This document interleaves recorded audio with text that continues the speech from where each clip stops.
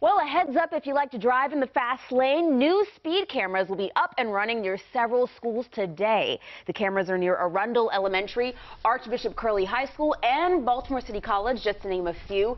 If you're going above 12 miles, uh, miles per hour on school days between 6 a.m. and 8 p.m. in those areas, you could get a fine of about $40. To see exactly where those cameras are set up, just head to WJZ.com and click on this story.